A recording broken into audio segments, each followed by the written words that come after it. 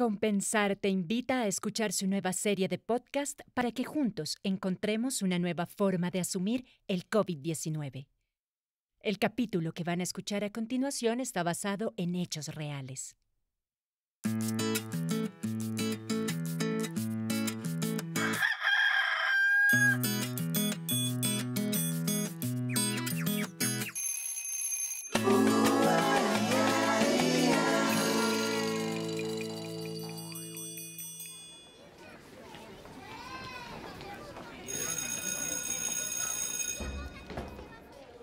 Bueno, niños y niñas, hemos llegado a nuestro último día de clase de este año que ha sido un reto para todos nosotros. ¡Por fin!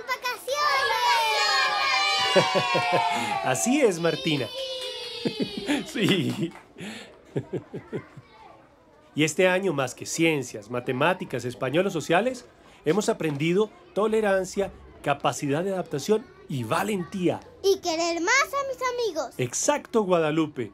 Porque a veces, cuando no tenemos a, a alguien, lo valoramos más, ¿cierto? ¡Sí, profesor! Tienen que saber que seguramente este año van a tener unas vacaciones diferentes, pero igual muy divertidas. No podemos bajar la guardia, niños. Ustedes también, niñas.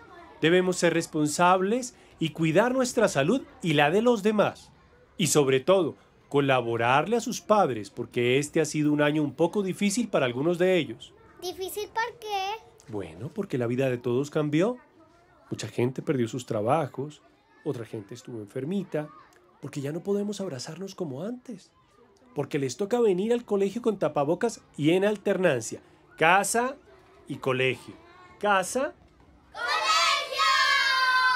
A mí me parece divertido. ¿Sí o no?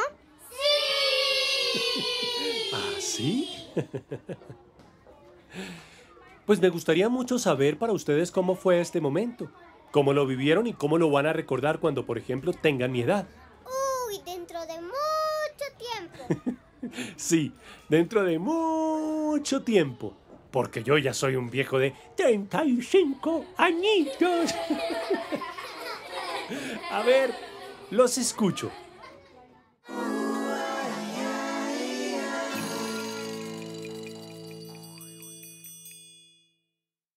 Los testimonios que escucharán a continuación son reales y parten de la vivencia de niños entre 7 y 8 años en el 2020.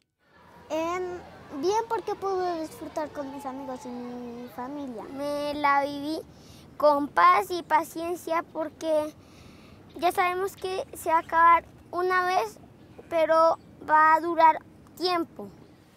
La viví bien y me gustó. Me gustó porque estuve con mi mamá, con mi papá, con mi hermana y con mis abuelas y con mi tío. Bueno, pues yo no lo quiero recordar porque no me gustó la pandemia. Me sentí triste porque la pandemia me prohibió ir a viajes, a con- a al colegio, encontrarme con mis amigos.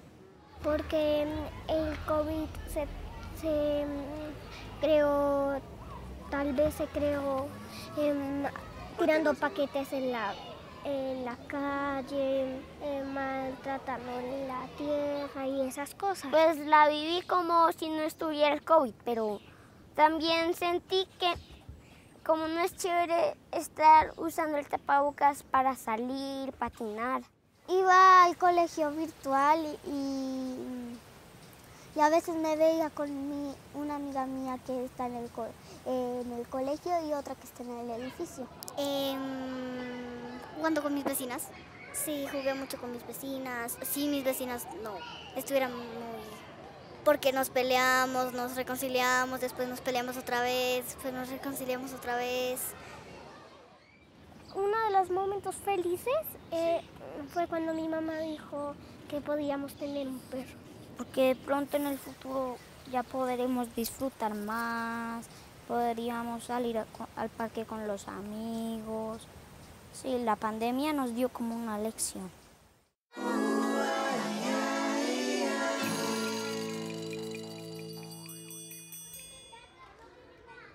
Pues queridos niños y niñas, créanme que acaban de darme una gran lección de vida.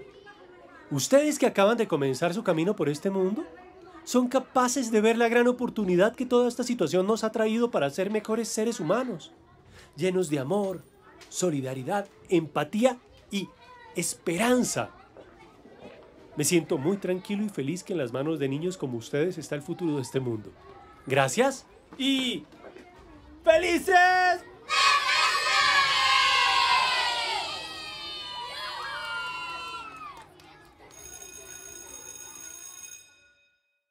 La pandemia generada por el virus COVID-19 ha cambiado la manera como percibimos el mundo y ha creado una nueva realidad. En nuestras manos está, así como lo hacen los niños, tener la capacidad de adaptarnos y sacar lo mejor de cada situación. Para todos, queremos desearles unas felices fiestas y un muy feliz año 2021.